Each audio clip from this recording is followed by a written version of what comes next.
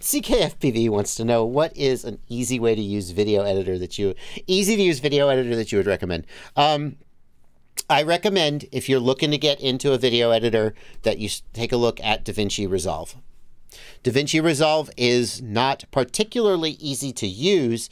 It is a full-featured pro grade video editor, um, but it's free, and there are lots of tutorials about it.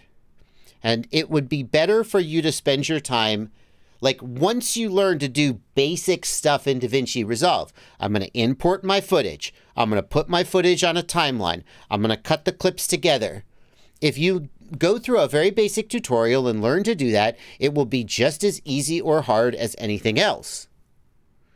And then you will have an actual skill as opposed to learning a oversimplified editor that you will run into limitations. Because eventually you're going to be like oh i want to do this and your your easy editor won't do it.